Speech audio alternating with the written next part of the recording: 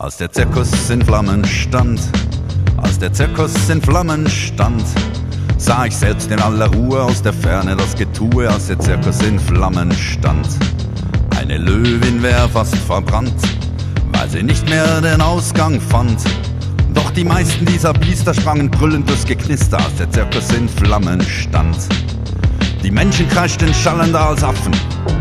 14 Tiger rannten in die Stadt. In den Drähten hingen zwei Giraffen. 28 Kinder trat man platt, als der Zirkus in Flammen stand. Ist auch ein Vogelstrauß verbrannt. Denn der gute Vogel tauchte, wenn sein Hinterteil schon rauchte, seinen Kopf standhaft in den Sand.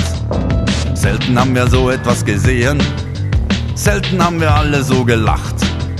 Denn aus Dingen, die hier sonst geschehen, haben wir uns ja nie sehr viel gemacht. Die paar Morde, die bei uns passieren, die sind stets ohne Leidenschaft und Fahrt.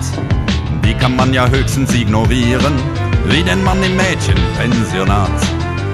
Keiner spricht heute mehr vom Lehrer Harald, der ein Kind erwürgte und entfloh. Denn das Kind war höchstens sieben Jahre alt, in dem Alter merkt man's noch nicht so.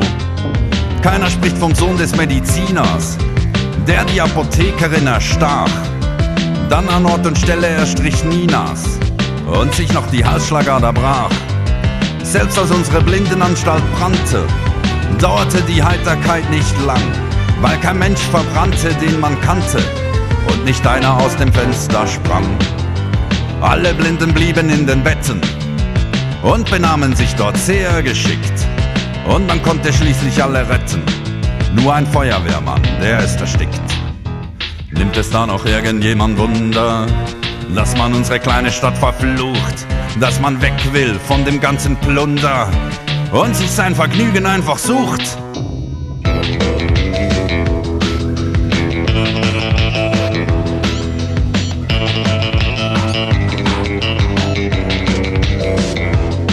Als der Zirkus in Flammen stand, als der Zirkus in Flammen stand, sprangen brennende Artisten auf die Rücken der Touristen, denn sie hatten kein Netz gespannt.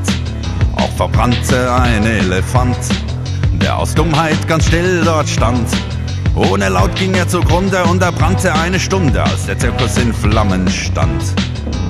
Dann ging man den Herrn Direktor suchen, der war grad verreist an diesem Tag um den Zirkus anderswo zu buchen. Als es hörte, bumm, traf ihn der Schlag. Als der Zirkus in Flammen stand, war nicht Wasser genug zur Hand. In zwei lächerlichen Teichen lagen Leichen über Leichen, ein paar halbe Jaguare und verkohlte Dromedare zwischen stöhnenden Dompteuren und verwundeten Jongleuren. Tribünen sind zersplittert und die Erde hat gezittert. Vom Himmel fielen die Funken und das Ganze hat gestunken. Ja, die Stadt war außer Rand und Band als der Zirkus, der Zirkus in Flammen